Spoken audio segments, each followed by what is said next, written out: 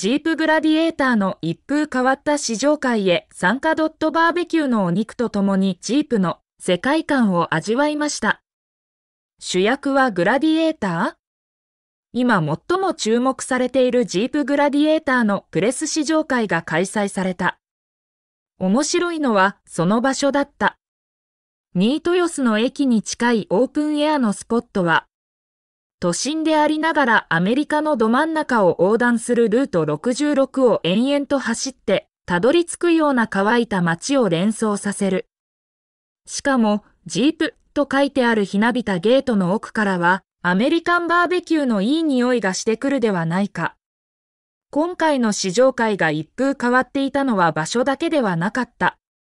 市場の予約が殺到しており、なんとグラディエーターの枠はすべて埋まっていたのである。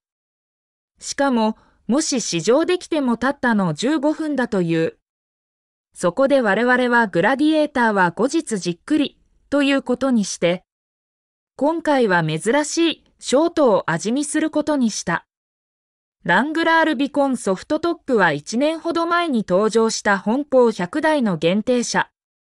原初のジープらしい2ドアの簡潔なモデルで、リアボディはホロになっている。運転席からの眺めは最強のルビコンそのものだが、ステアリングを切ると、その場でくるくると回ってしまいそうなほど小回りが効く。4ドアのアンリミテッドよりホイールベースを 550mm も短縮。車重を 170kg くらい軽くすると、車の性格は完全に豹変するのだということを思い知らされたのだった。まるでリアルチョロ Q? この振り幅を考えると、グラディエーターの変貌ぶりにも期待できるはずだ。ピックアップとバーベキュー。ショートの試乗が終わると、屋外のテントでプレゼンテーションが始まった。ここでの主役はもちろんグラディエーター。というよりジープの歴史全般だった。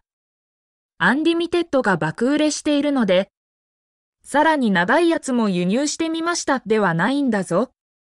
ピックアップトラックはアメリカの文化そのものなんだ。という基礎知識を徹底的に叩き込もうというわけだ。登壇者の中で我々の心をわしづかみにしたのは、ビリー・ヘイズというジープ好きのアメリカのおじさんだった。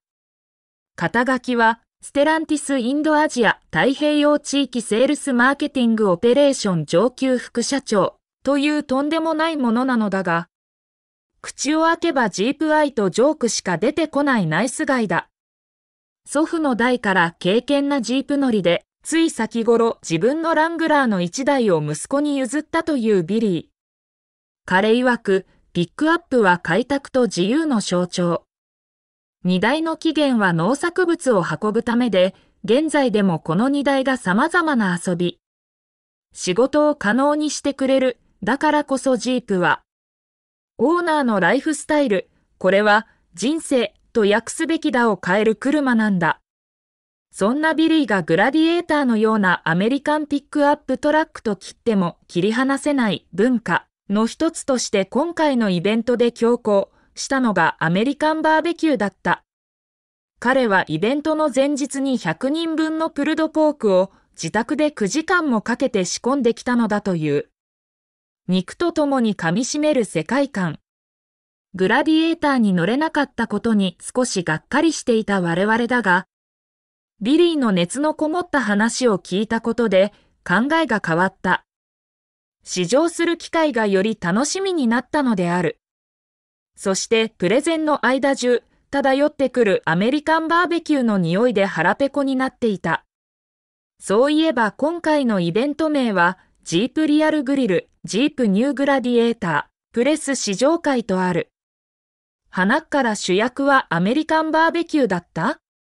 プルドポークやポークリブ、ビーフリブアイフィンガーなどなど、これら本場のアメリカンバーベキュー料理と、日本人が考えるバーベキューとの大きな違いは、直火で調理しないということに尽きる。丁寧に下味をつけ、時間をかけてスモークし、アルミホイルで包んで優しく加熱する。ワイルドさが売りだとばかり思っていたアメリカンバーベキューは、極上のスローフードだったのである。これと同じように、おそらく我々日本人は、まだジープの本質を理解していないのかもしれない。グラディエーターの売りはワイルドさではなく、アメリカの文化が育んだ本当に使える SUV であること。